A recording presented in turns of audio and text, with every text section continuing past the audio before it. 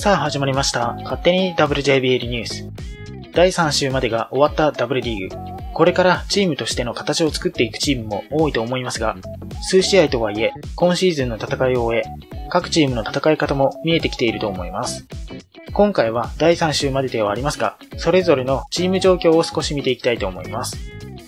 全部で14チームあるので、前編と後半に分けて見ていきたいと思いますが、今回は第3週までの順位で14位から8位までのチームを見ていきたいと思います。それでは最初に見ていくのは新潟。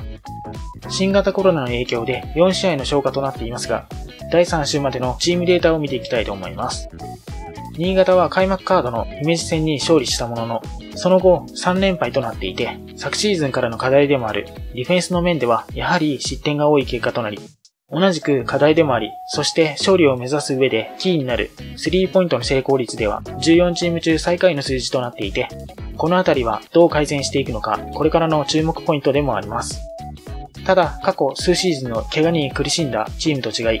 戦える選手が多いというのはポジティブな面ですし、勝利した試合では相手のディフェンスにうまく対応し、パスを回し、フリーを作れていて、新潟が目指す攻撃ができていた面でもあるので、いかにそういった展開を増やしていけるかは注目です。そんなチームの中で活躍している個人的に注目の選手を見ていくと、一人目は北川選手。ここ数シーズン、怪我に苦しんでいた北川選手は、開幕から元気にプレーし、得点、リバウンドともに高い数字をマーク。北川選手が試合に出ていると、チームが落ち着く面があり、新潟の勝利を目指す上では欠かせない存在だと思います。そして二人目は金沢選手。新潟の得点源の一人ですが、チームの課題でもあるスリーポイントの成功率では、第3週終了時点ではリーグトップの54.55%をマークし、今後の新潟の戦いにおいて注目の存在だと思います。続いて見ていくのは姫路。第3週までのチームデータは次のようになっています。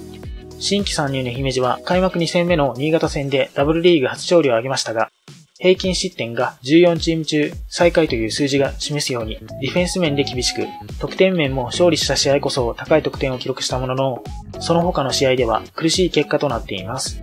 ただ、数字こそ伸びていないものの、ディフェンス面での頑張りは見られますし、どんな時もベンチも含めて前向きに戦っているので、その面は今後につながってくると思います。そんなチームの中で活躍している個人的に注目の選手を見ていくと、まず1人目は白崎選手。開幕からエースとして攻守で貢献していますが、平均得点は現在リーグトップの数字をマーク。ただ、白崎選手以外の得点が伸びていない現状なので、そのあたりがどう改善していくのか注目されます。2人目は矢野選手。ルーキーながら全試合スターター起用され、得点はチーム2位、リバウンドではチームトップの数字をマーク。様々なポジションを経験している選手で、得点力もある選手なので、これからも姫路のポイントになってくる選手だと思います。続いて見ていくのはアラン・マーレ。第3週までのチームデータは次のようになっています。昨シーズンから課題でもあった得点の面は現在14チーム中最下位の数字となっていますが、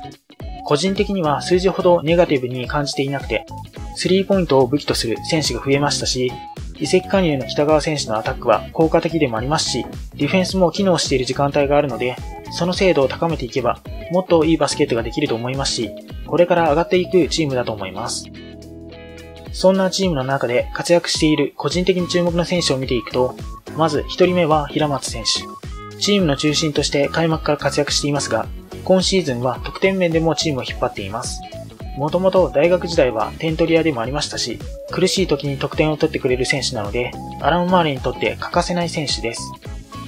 2人目は佐藤選手。昨シーズンはプレーできませんでしたが、復帰となった今シーズンは、チームの得点源として大活躍。シュート精度はチーム1だと思いますし、移籍加入の北川選手とともに、この移籍組の2名はアラン・マーレにとってキーになる選手だと思います。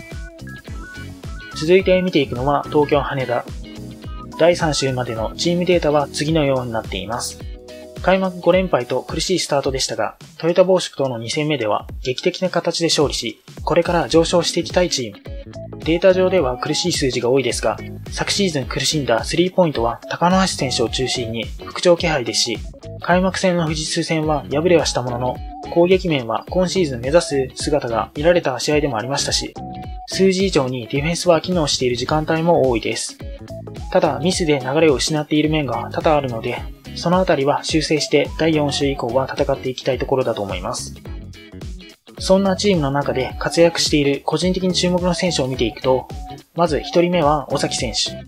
攻撃面では安定したミドルレンジのシュートを武器に得点を重ね、相手のインサイドのディフェンスに奮闘する東京羽田にとって欠かせない選手。本来武器でもある積極的なアタックは少し少なく感じますが、これからもキーになる選手だと思います。2人目は水野選手。移籍加入1年目ですが、開幕からチームにアジャストし、得点源の一人として活躍しています。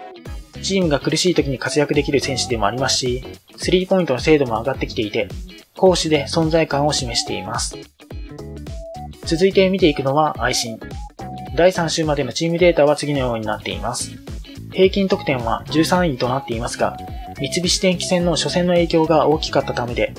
数字ほど悪い攻撃はしていないですし、1勝5敗となっていますが、伝送戦の2戦目は延長戦まで行きましたし、日立ハイテクとの初戦や三菱電機との2戦目は共にどちらに転ぶかわからない激戦だったので、第3週までの戦いぶりは成績以上にインパクトを与えていると思います。サイズの低いチームですが、その分ガード陣の働きは素晴らしく、攻守で内容は悪くないと思います。ただ、昨シーズン同様に接戦を演じながらも勝ちきれていないのも事実なので、勝負どころでいかにミスを少なく戦っていけるかは今後の注目ポイントでもあると思います。そんなチームの中で活躍している個人的に注目の選手を見ていくと、まず1人目は上永選手。すべてベンチスタートではありますが、その存在感は大きく、停滞している時間帯を打開することもできますし、チームに勢いを与えることもできる選手。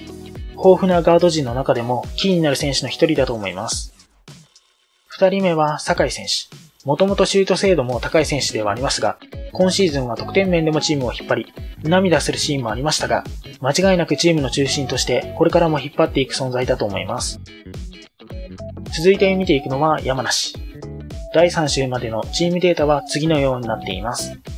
どの項目も特別高い数字ではありませんが、新しいヘッドコーチを迎えたシーズンでもありますし、主力選手のコンディション不良があり、苦しいチーム事情の中、新たな選手が台頭してくるなど、数字以上にポジティブな面は大きいと思います。特に富士通との2戦目は、主力選手を書いた状況の中で、タイムシェアしながら出られる選手全員で戦い、逆転で勝利するなど、チーム力が上がってきていると感じさせる試合でもありました。金子ヘッドコーチが安城学園の指揮を取っていた時も武器にしていたオールコートでのプレスディフェンスは山梨でも健在ですし、常にメモを取るなど、これからどんなバスケットを展開するのか、注目が集まるチームでもあると思います。そんなチームの中で活躍している個人的に注目の選手を見ていくと、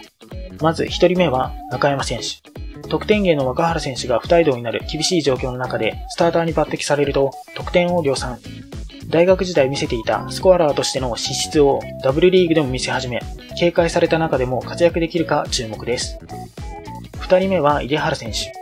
コンディションの関係で4戦目から試合に出れていませんが、大学時代から武器だった積極的なアタックは山梨の武器の一つになっていましたし、一日も早い復帰が待たれる注目のルーキーだと思います。続いて見ていくのは日立ハイテク。第3週までのチームデータは次のようになっています。開幕カードのトヨタ帽子相手には連敗しましたが、その後の愛心、シャンソンとは激戦の中で2勝2敗で終え、主力2名が抜けたチームながら確かな力があることを証明している戦いぶりをしていると思います。ただ昨シーズン少し低調だったスリーポイントの成功率は今シーズンも苦戦していて、シューターの佐藤選手はいい場面で決めれているものの、スリーポイントが武器でもある佐藤選手、白沢選手を含めて、第3週終了時点では30%台の選手がいない状況で、このあたりはこれからの戦いのポイントになってくると思います。そんなチームの中で活躍している個人的に注目の選手を見ていくと、まず1人目はマレム選手。谷村選手が移籍し、よりインサイドで重要な存在になると予想されていましたが、そんな中でしっかりと開幕から結果を残しています。相手チームからかなり警戒されていると思いますが、これからもインサイドを支えていくと思います。2人目は不入選手。開幕からスターターに復帰し活躍を見せていますが、シャンソン戦ではチームを救う活躍をし、勝利に貢献。持ち前の積極性が出せるようになり、チームが苦しい時間帯に状況を打開するアタックを仕掛けるなど、中心的な存在になってきています。ということで、今回は新潟から日立ハイテクまで見ていきました。まだ第3章を終えた段階なので、チームとしてもこれから試合を通して高めていくチームが多いと思いますが、昨シーズンからの違いを見せるチームもありますし、現状は下位に位置しているチームですが、上位チームから勝利を収めるチームもあり、今シーズンを盛り上げてくれるチームばかりです。これからどのような戦いを見せてくれるのか、ぜひ注目してください。それでは今回はこの辺りで終わろうと思います。動画を見ていただきありがとうございました。次回以降の勝手に WJBL ニュースもよろしくお願いします。